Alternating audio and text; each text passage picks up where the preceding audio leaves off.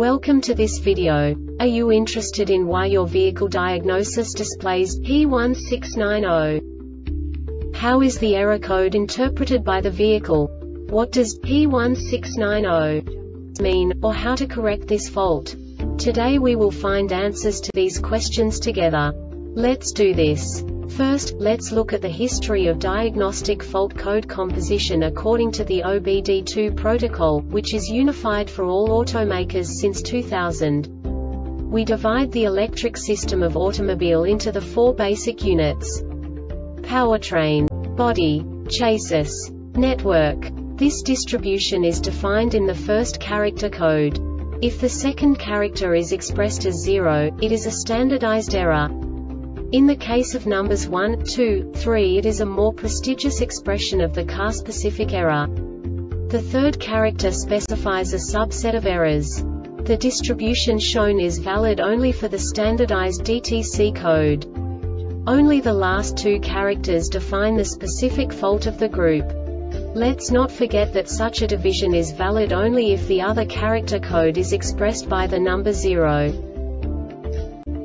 Our website airbagreset.sk produces useful videos for you. You do not have to go through the OBD2 protocol anymore to know how to troubleshoot any car breakdown. You will find all the diagnostic codes that can be diagnosed in a Hyundai vehicles. Also many other useful things. The following demonstration will help you look into the world of software for car control units. You unbelievably can move the video a bit further. The error code is split into two bytes consisting of 16 bits.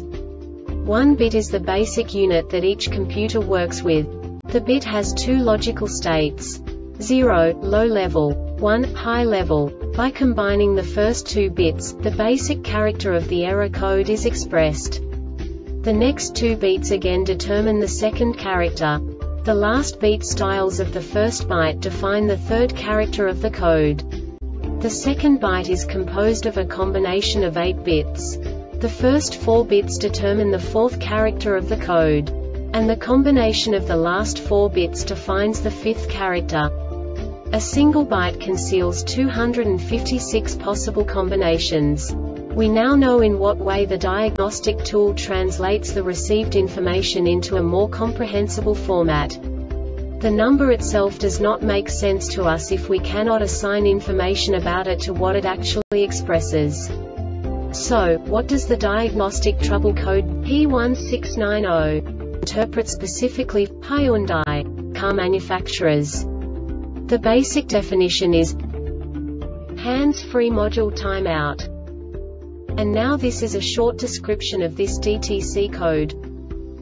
When the hands-free module is returned from the bus off state, or when the bus error is indicated to the hands-free module state, the DTC U0019 is set. This diagnostic error occurs most often in these cases.